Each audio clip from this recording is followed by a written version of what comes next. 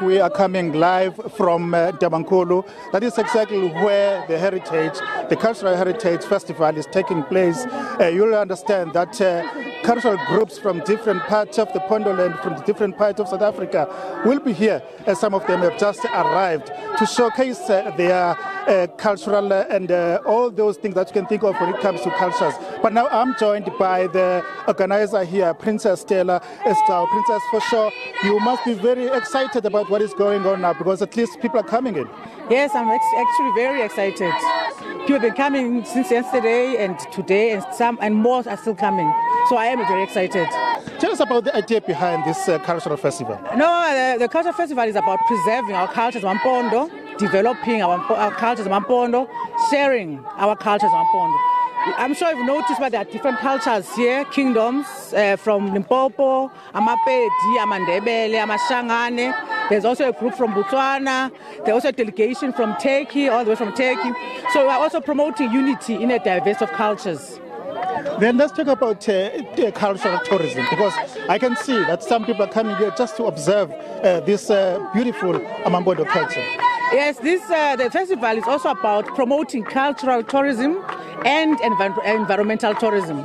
It's also to boost uh, rural economy and cultural economy. But one would In fact, uh, some Yes. of the people, when they leave this place, they'll become ambassadors for cultural tourism of this nation. That means you know, we add value to our economy as South Africa as a whole. So, who can we expect in terms of people that will be uh, uh, around here who are dignitaries, if I put that way? Oh, they're already here. Let's start with our kings because they're also our, they're our dignitaries. We've got the king of Amapedi, Mampuru Fourth. We've got Kosi Mabena from the Amandebele, Akamabena in, in, Mpumalanga. We've got Amanzunza, Nkosi Mahlangu. We've got Amatsonga, Nkosi Mahumane. We've got our mayors, district mayor uh, of Alfred Nzo, Ntabankulu mayor, and Bizana mayor. We've got our embassies as well. They are represented. Our ambassador of, of, of Turkey here. Tatu Pumalanga has just arrived, chairperson of the Provincial House of, of uh, Eastern Cape Traditional Leaders. He's also arrived. So there's lots of people from different parts of uh, South Africa. We've- uh, Mamu Jane, CEO of From Park, is also here. CEO of Imbumba Foundation, Babu Mabaso, is also here. Honorable Zolani Mkiva, who's receiving awards, is also here. So there's lots of uh, dignitaries. And then food, because I understand that traditional food will be served. Yes, we are. We slaughtered lots of cows. Uh, meat is our thing as a mampondo. So people experience, eh, will also be experiencing our traditional cuisine. They'll be experiencing our culture. Uh, kukhona imikhwelo, horse parades. They'll also be experiencing that. So just just so much into this festival.